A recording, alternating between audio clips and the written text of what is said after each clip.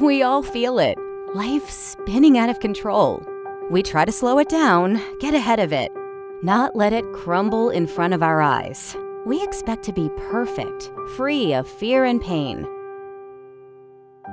Well, one woman had the courage to spread a different message. She got real. She got truthful. She told us to use pain as fuel. We can't change the past, she said, so stop replaying the same old tune of shame and guilt and unworthiness. She wrote, she blogged, she spoke her truth and found her strength, and became a warrior, spreading her power to millions.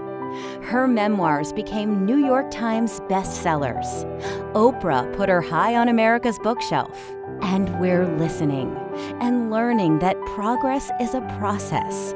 Step by step, we keep climbing to face our pain and survive it again and again. She is a face of change, reminding us our pain doesn't change, we do. Please welcome a warrior of change, Glennon Doyle Melton.